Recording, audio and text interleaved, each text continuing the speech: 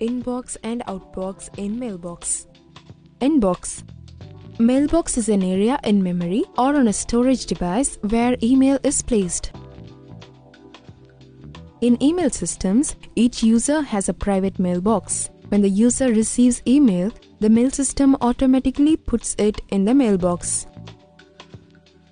Inbox is a collection of recent mails by user which is available to read, answer, store, or delete.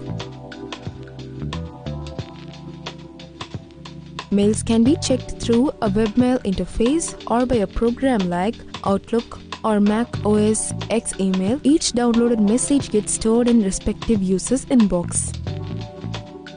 Most people receive more mail which can be managed in one folder. After reading the messages, users have an option to move them to other folders you have created such as family, friends, business, etc. or delete them by moving to trash.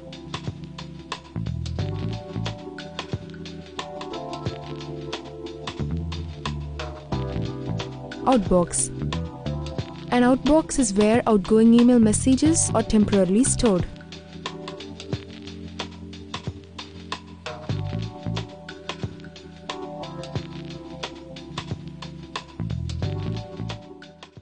While composing a message, most mail programs automatically save a draft message in the outbox.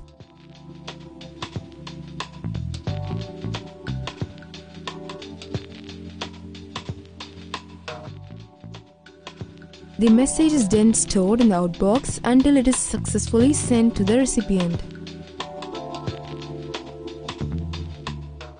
Once the message has been sent, most email programs move the message to the sent or sent messages folder.